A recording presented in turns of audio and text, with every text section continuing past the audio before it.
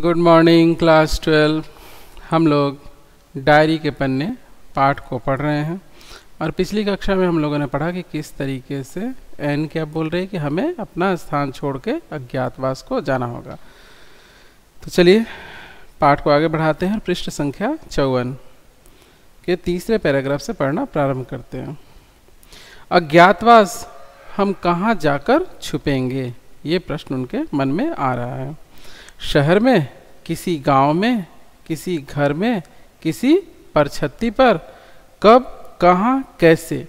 ये ऐसे सवाल थे जो मैं पूछ नहीं सकती थी, लेकिन फिर भी ये सवाल मेरे दिमाग में कुल बुला रहे थे कि मेरे मन में ये सवाल बार बार आ रहा था कि हम कहाँ जाकर छुपेंगे, कौन सा स्थान होगा। मार्गोट और मैंने अपनी बहुत चीज़ें एक थैली में भरनी शुरू की, क्योंकि उन्हें अपना वह स्थान छोड़ना होगा, जाकर कहीं छिपना होगा। तो बहुत सारे सामान जो ज़रूरी हैं, रोज़मर्रा के हैं, वो उन्होंने थैली में भरना शुरू किया। मैंने सबसे पहले अपने थैले में एक डायरी ठूंसी। उसके बाद मैंने कर्लर, रुमाल, स्कूली किताबें, एक कंघी और कुछ पुरानी चिट्ठियाँ थैले में डाली। मैं अज्ञातवास में जाने के ख्याल से इतनी अधिक आतंकित थी कि मैंने थैले में अजीबो गरीब चीज़ें भर डाली। यानी मैं बहुत ही ज़्यादा आतंकित, डर गई थी कि क्या होगा, कैसे, कहाँ जाकर छुपेंगे, सारी चीज़ें उन्हें बहुत ही भीतर तक डरा चुकी थी। वो आतंक से ग्रसित हो चुकी थी। तो क्या कर रही उन्हें कुछ भी समझ में नहीं आ रहा था, गैर ज़रूरी चीज़ें भी वो भर ले रही थी। फिर भी मुझे अफसोस नहीं स्मृतियाँ मेरे लिए पोशाकों की तुलना में ज़्यादा मायने रखती हैं। सही बात है। तब हमने मिस्टर क्लीमैन को फ़ोन किया और क्या वे शाम को हमारे घर आ पाएँगे? यह जाना। मिस्टर वान दान चले गए ताकि मिएप को लिवा ला सके। मिएप आई और वादा किया, वे रात को एक बार फिर आएँगी। वे अपने साथ जूतों, ड्रेसों, जैकेटों, अंडरवियरों तथा स्टॉकिंग से भरा एक थैला लेकर गई।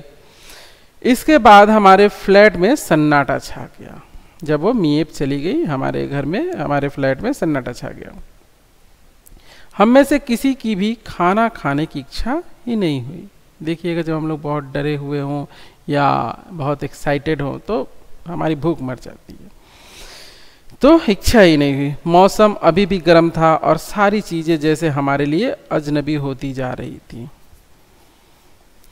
हमने अपना ऊपर वाला एक बड़ा कमरा तीसेक बरस के लिए विधुर मिस्टर गोल्ड सिम्ट को किराए पर दे रखा था। तय था कि उसे उस शाम कोई काम धंधा नहीं था। इसके बावजूद हमारे कई इशारों के बावजूद वह रात दस बजे तक वहीं मंडराता रहा। मिएप और जॉन गिएज रात 11 बजे आए।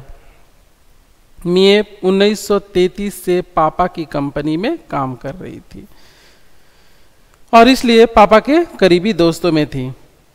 उसके पर, उसके पति जॉन भी पापा के अच्छे दोस्त थे। एक बार फिर जूते स्टॉकिंग्स अंडरवियर और किताबें मिएप के गहरे बैग में और जॉन के जेबों में गायब हो रही थी। यानी वो अपना सामान भर रही थी। साढ़े ग्यारह बजे से साढ़े ग्यारह बजे वे खुद भी विदा लेकर चले गए। मैं बुरी तरह से थक गई थी। इतना सारा काम करने, इतनी तैयारी करने के कारण मैं बहुत थक गई थी। फिर भी एक बात मैं अच्छी तरह जानती थी कि यह रात मेरे अपने बिस्तर पर, मेरी आखिरी रात है। इसके बाद पता नहीं कहाँ जाना है, कहाँ रहना है, कैसी ज़िंदगी होगी, ठीक से सोने को स्थान भी मिलेगा कि नहीं, ये सब इस पर प्रश्न चिन्ह था। बट उन्हें इतना पता था कि यह रात जो आज की है, यह मेरे बिस्तर पर आज आखिरी रात है। मैं जैसे घोड़े बेचकर सोई, बहुत अधिक थक जाने पर हमें नींद भी गहरी आती है। तो ये भी क्या हुई? एकदम गहरी नींद में सोई, घोड़े बेचकर। मेरी नींद अगली सुबह साढ़े पाँच बजे मारगोट के जगाने पर ही खुली। किस्मत से यह सुबह रविवार की तरह गर्म नहीं था, यानी आज उतनी गर्मी नहीं थी। दिन भर गर्म बरसात की फुहारें पड़ती रहीं। हम चारों ओर अपने बदन पर इतने ज़्यादा कपड़े ले लिए थे, मानो हम रात फ्रिज में गुजारने जा रहे हैं। यानी हम लोगों ने इतने कपड़े अपने शरीर पर पहन लिए थे, लगता था जैसे किसी ऐसे स्थान पर जा रहे हैं जहाँ बहुत भयानक सर्दी पड़ती हो, यानी फ्रिज में जैसे रात गुजारना हो। वजह सिर्फ़ इतनी सी थी कि हम अपने साथ ज़्यादा से ज़्यादा कपड़े ले जाना चाहते थे।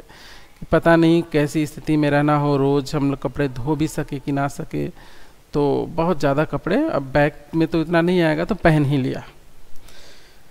तो पहन लिया। हम जिस स्थिति में थे, उसमें कोई यहूदी व्यक्ति कपड़ों से भरा सूटकेस ले जाने के बारे में सोच भी नहीं सकता था।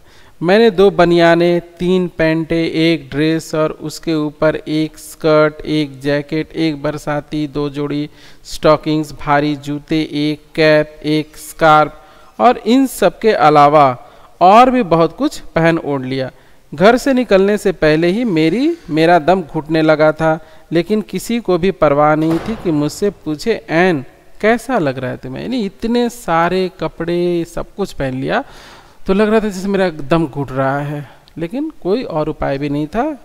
लेकिन कौन था जो पूछे कि तुम कैसी हो? तो आज की कक्षा में इतना ही। अगली कक्षा में हम लोग मिलकर बाकी का भाग पढ़ेंगे।